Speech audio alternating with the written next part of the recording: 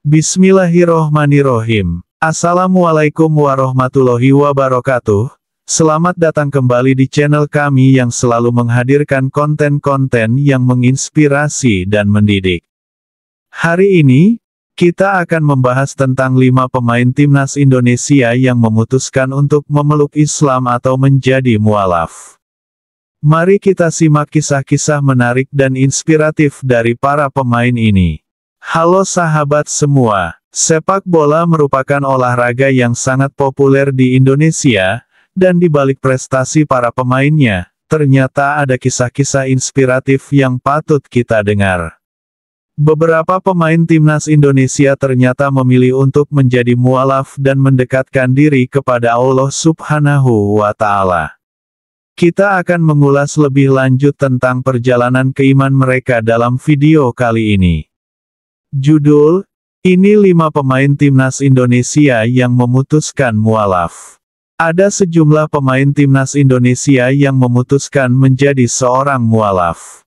Mereka menuturkan beberapa alasannya ketika menjadi seorang muslim, ada yang karena menikah ataupun kemauannya sendiri. Namun ada beberapa pemain timnas Indonesia yang sempat mendapatkan penolakan dari keluarnya ketika memutuskan menjadi seorang mualaf. Hal ini dialami oleh Marcus Horizon. Berikut beberapa pemain timnas Indonesia yang memutuskan menjadi seorang mualaf, dilansir berbagai sumber. 1. Marcus Horizon Marcus Horizon memutuskan menjadi mualaf pada 2014. Sebelum memutuskan menjadi mualaf, ia mempelajari agama Islam terlebih dahulu dan menanyakan ke beberapa temannya.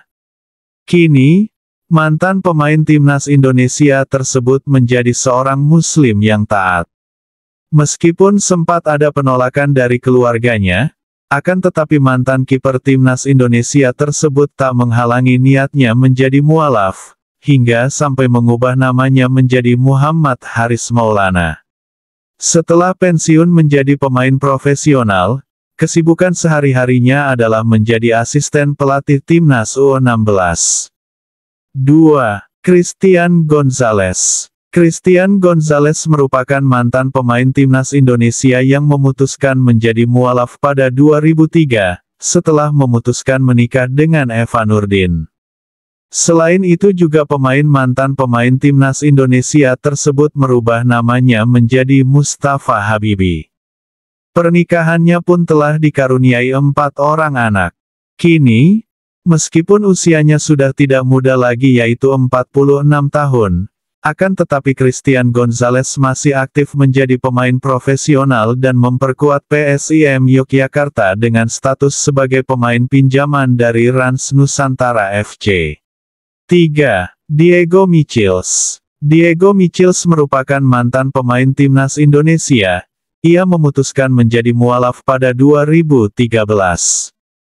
Meskipun sebelum masuk Islam, ia memiliki tato banyak di sekujur tubuhnya, namun tak menghalangi niatnya untuk menjadi mualaf.